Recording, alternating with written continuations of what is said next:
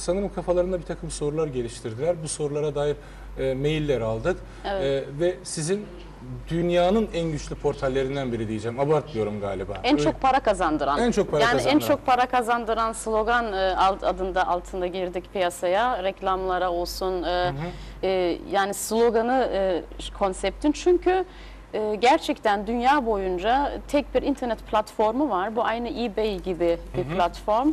E, eBay'den para kazanamıyoruz. eBay'den bir tek müşteri olarak alışveriş yapabiliyoruz. Ama bu internet platformu da şunu sağlıyor. E, insanlar ee, oradan hem alışveriş yapabiliyorlar hem de eleman ağı kurabiliyorlar, müşteri ağı kura- ağı kurabiliyorlar. İlerleyen dakikalarda zaten detayına gireceğiz. Ee, onun ad, başlığı adı, adı altına evet öyle girdik. Güzel. Ben öncelikle buradan bütün ATV seyircilerine merhaba demek istiyorum. Sabırlarınız için teşekkür ediyoruz. Bizi seyretmeye devam edin. Çok çok önemli haberlerimiz var. Para kazandıracaksanız beklesinler. Tabii. Zaten o yüzden. Yani Tabii geç ki de. saatlere kadar yani boşu boşuna oturup bizi izlemesinler. Bir çıkarları varsa izlesinler. hani ben eğer bir seyirciysem, seyirci gözüyle baktığımda evde oturuyorsam bir programı izlerken o programın içerisinde bana hitap eden bir takım doneler ararım. Ya kazanmalıyım, ya çok gülmeliyim, ya çok düşündürmeli beni. Hani Tabii. gülerken aynı zamanda düşünmek anlamında demiyorum. Ya mutlaka bir şey almalıyım. Peki Gülizar, sen burada mı doğdun büyüdün? Burada doğdum büyüdüm. Almanya'da doğan büyüyen kardeşlerimizdensin. Evet. Kaçıncı çalışman bu? İkinci, üçüncüye İkinci, hazırlık var şu üçüncüye an. hazırlanıyorsun. Ee, daha önce böyle çok hani medyada diyeyim, ekranlarda falan. Tabii hani ki. belki benim eksikliğim. Ben çok 2002 rastlamadım. yılında ilk albümümüz çıktı Türküler. O dönem birçok televizyon kanallarında da kanallarında bulunduk. Hı hı. tanıtımlar oldu Tabii falan. ki tabii ki. Peki çalışmalarını birazdan dinleyeceğiz. Seyircimizle paylaşacağız. Aynı zamanda aynı şirketteyiz. Gülşen. Evet, Öyle mi? bu arada Bak, evet. sürpriz Ütopya oldu. Müzik Sürpriz oldu bilmiyordum ben. aynı firmada. Kardeş kardeş bu akşam şarkılar söyleyeceğiz dedi. Sevgili Salih, senin aslında bu masada olanlarla bitenlerle hiçbir ilgin yok gibi. Bana öyle Aslında geliyor. kamera arkası evet. Kamera arkası bir boyutun var ama hani olmazsa olmazlardan yapımlarda, dizilerde, filmlerde senaryo işin bel kemiğidir. Evet. Ee, bir laf vardır, iyi yazılmış bir senaryo yarısı yönetilmiş bir film gibidir. Aynen. Doğru mu? Doğru. Biraz kendinden bahset, çalışmalarından bahset. Hollywood boyutu var sende. Evet. Özellikle vurguluyorum çünkü Avrupa'da yaşayan Türklerin başarısı devrin değiştiğine en büyük delalettir. En büyük örnektir. Sen de bunun iyi örneklerinden birisin. Sağ olasınız. Ee, İstanbul Üniversitesi İletişim Fakültesi Radyo Televizyon Sinema mezunuyum. Hı hı. Ee, 2003 yılında e, Almanya'ya e, Berlin e, Film Fernseh Akademi e, fakültesinde yani üniversitesinde Hı hı. e, Drehbuch Autor yani senaryo yazarlığı üzerine master yaptım. Hı hı. E, master'dan sonra e, çeşitli televizyon kanallarında, Türk televizyon kanallarında çalıştım. Tabii bundan önce e, master bit, master'ın bittiği dönemlere yakın bir dönemde e, üniversitedeki hocanın da yardımıyla yani e, çünkü buradaki üniversiteler dışarıdaki e, yani Türkiye'deki gibi değil daha çok bağlantılı Hollywood'la. E, bir şekilde Hollywood onlardan öğrenci soruyor. E, ne bileyim yani proje arıyorlar veya kaliteli e, ileriye yönelik yetiştirilebilecek e, senaryo yazarından yönetmenine kadar soruluyor. Bu anlamda elimde projeler vardı. Yani uzun yıllardır yazdığım e, birçok birikmiş ama bir türlü gerçekleştirme imkanı bulamamış. Bulamadığım projeler. Bunların birçoğunu zaten Türkiye'de yazmıştım. E, bu projelerden bir tanesi adı 9. Adam. Bunu Dokuzuncu Temel- Adam. Evet 9. Adam. E, Hollywood'da e, bir film şirketiyle e, hocamız aracılığıyla ulaştırıldı. Proje okunduktan sonra beğenildi. Bir anlaşma yaptık ve bu e, proje 3 bölüm şeklinde e, aksiyon filmi şeklinde yayınlanacak. Proje sadece aksiyon filmi değil. Yani sadece patlama çatlamadan ibaret olmayan bir film. Tarihi bir tarihi aksiyon. Yani tarihi aksiyon içerisinde bir aşkı da anlatan bir film. Çünkü bir Osmanlı dönemi var. Osmanlı döneminden hatta e, bir Hazreti İsa dönemine geçiş var. Tekrar İlginç. günümüzle ilgili bir film. İlginç. Yani konusu %80 günümüzde geçiyor ama geri dönüşler var flashbacklerle. Enteresan. Ee, film ilgi çekecek, inanıyorum yani dikkat çekecek bir film olacak. Bir de en azından e, ilk defa belki de bir Osmanlı İmparatorluğu'nun e, bir çalışma hani gizli yapısı bir anlamda. Çünkü 2. Abdülhamit'ten beridir çözülemeyen bir gizli yapısı var. Çok gizli bir istihbarat. Bu istihbaratın aslında nerelerden geldiğini, nerelere gittiğini, e, tarihi bir aksiyon içerisinde, bir dramatik bir yapı içerisinde, e, epik bir yapı içerisinde daha çok. Bunu kurguladım, yazdım.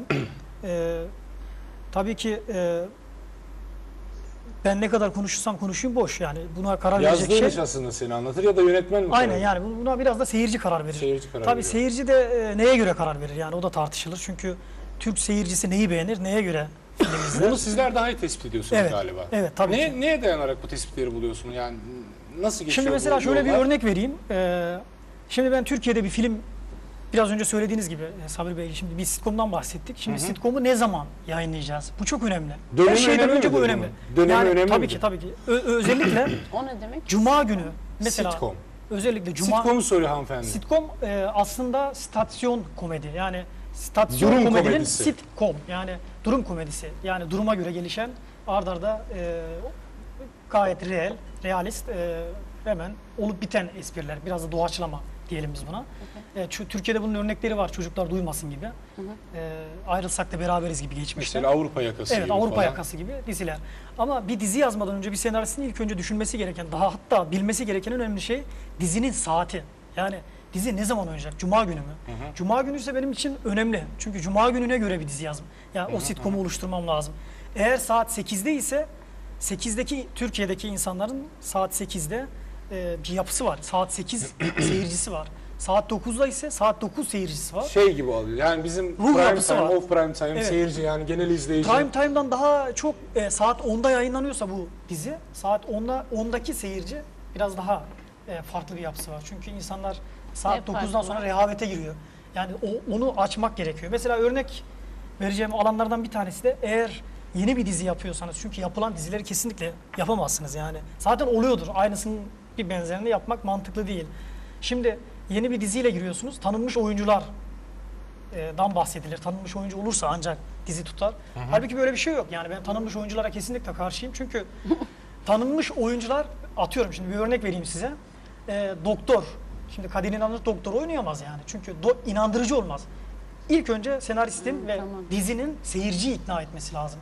Mesela atıyorum Gerçekçilik açısından, Evet mesela atıyorum şimdi açısından. Gerçek Bey'i e, doktor yazıp bir e, kapısına koydu, koyduğumuz yani e, dizinin içerisinde gösterdiğimiz zaman bu daha ikna edici. Çünkü Neden sakallarından dolayı? doktora mı benziyor? Hayır o anlamda değil de yani hani e, çok belirgin yani Hülya Avşaral polis rolüne koyduğunuz zaman değil mi yani çok ikna edici olmaz. Önce seyirciyi ikna edeceğiz.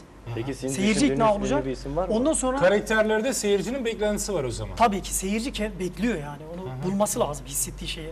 Yani saat 10'da dediğim gibi bir de saati yani bu rehavet saati mi? Tamam. insanın heyecanlı olduğu bir saat mi? Yani Salih Avrupa'daki Türkleri nasıl gözlemliyorsun? Bir senarist olarak çünkü senaristler hani bakıp da gören insanlardır. Görmeden yazamazlar. Bazıları sadece bakar. Bazı insanlar sadece bakar göremez bazı şeyleri. Ama özellikle Şimdi- senaristler ya da benzer durumda Şöyle olan yani- insanlar bakıp görürler. Şöyle söyleyeyim yani bunun cevabı çok klasik klişe bir şey söylemeyeceğim. Yani hani kesinlikle Avrupa'daki Türkler iki kültürü bir arada yaşamaya çalışıyorlar. Herkes zor bir şey falan değil bence. Aslında bence bu bir kazanç. Yani iki Zenginlik kültür mi? tabii ki Zenginlik. bu. Yani bunu iyi kullanmaları gerekir ama Katılıyorum. yani burada önemli olan bir kültüre takılıp bat, içinde kaybolmak yani. Mesela şimdi ben Türk'üm. Türk kültüründe tabii ki hepimiz Türk'üz, benimsiyoruz. Ee, hepimiz Müslümanız. Yani e, ama bunu bunda diretmek yani diğer kültürleri Hayır görememek. tesbih sallayacağım, Aynen. ayakkabının Yani arkasına bunun basacağım. anlamı yok yani. Şimdi Bunları diretmekte bir anlam, Anlam yok. Peki. bu iki kültürü bir arada yaşamak, zenginlik Çok olan bir şey güzel çok iyi görüyor ya. kullanmak gerek. Çok Ve iyi. deta- benim, benim için özellikle Avrupa'da e, Türkiye'den daha çok malzeme. Çok değil mi? Çok daha fazla malzeme var. Buradaki Türkler çok orijinal. Yani Nasıl mesela inanılmaz orijinal? derecede orijinal. Nasıl orijinal? Espri anlayışları orijinal.